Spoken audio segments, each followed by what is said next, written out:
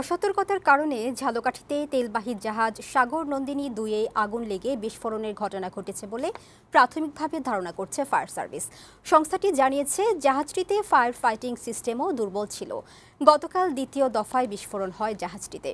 এতে আগুন লেগে যায়, তেল অপসারণে সাহায্য করতে আসা অপর জাহাজ সাগর নন্দিনী চারে।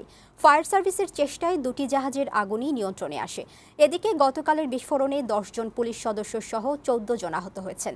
এর মধ্যে দগ্ধ দুইজন পুলিশ সদস্যকে উন্নত চিকিৎসার জন্য সোমবার রাতে বরিশাল থেকে ঢাকায় শেখ হাসিনা বার্ন ইনস্টিটিউটে পাঠানো হয়েছে।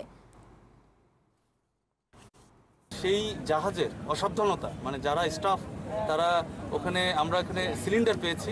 ওখানে হয়তো এমন হতে পারে যে ওই যে রান্নাঘর ওখানে গ্যাস পুরো গ্যাসে ভরে গিয়েছিল, হয়তো ওখানে কোনো একটা স্পার্ক অথবা কোনো একটা শর্ট সার্কিট থেকে হয়েছে।